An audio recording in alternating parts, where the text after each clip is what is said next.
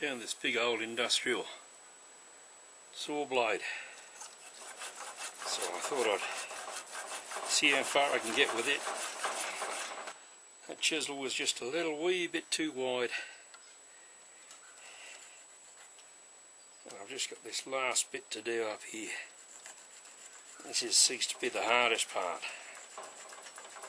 It's a matter of scraping, I think, rather than sawing. It's just working it to and fro till I get down far enough that blade will just go into that slot. I can't cut any more the whole length because I've reached as far as I want to go down here. Um, and I can't tilt it up and come this way because I'll end up cutting into this tip which will make it weak. So I've got no choice now but to do this. How they originally did it, I really don't know. I'd have to find out. I think I'm going to have to put some more research into period handles. At the moment, I've just put it into the blades, but I think uh, I think I need to know need to know more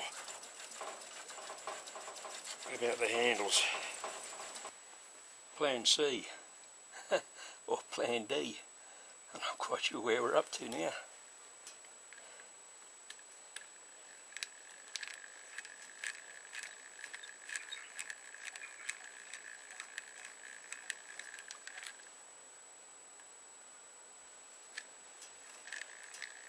Figured if I drill a series of holes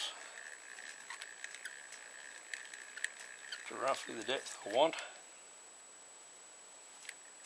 I won't have so much to cut through, to saw through. Just got to be careful I don't go too far. Drill right through it.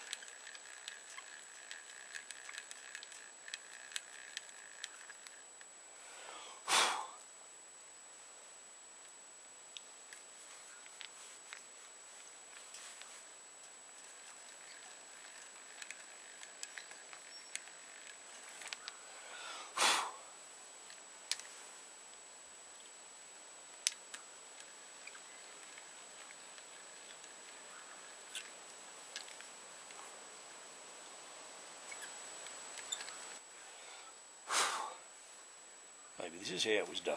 Who knows? Who knows?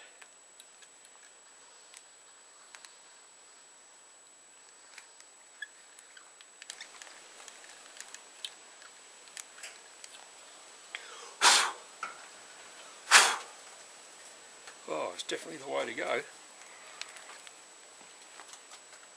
Be careful.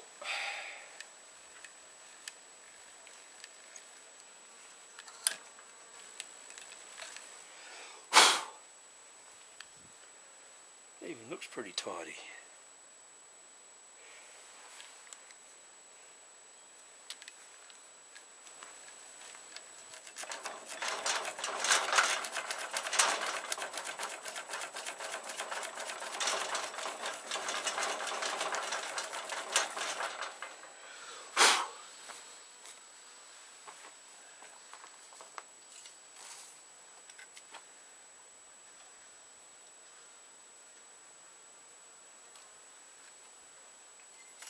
Just making a pin. Can't seem to find anything the right size, so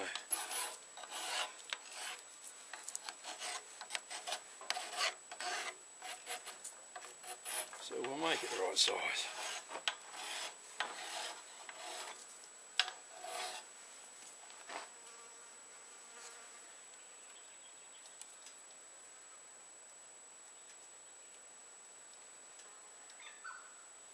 Getting there, a nice neat fit. Don't want it too loose.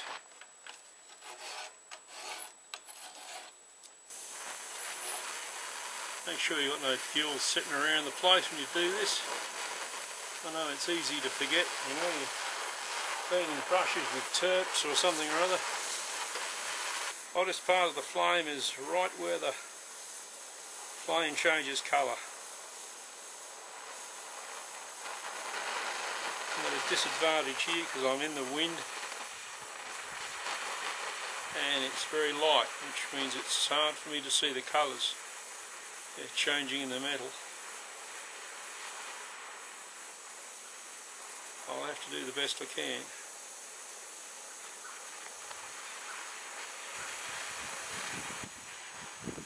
Ah.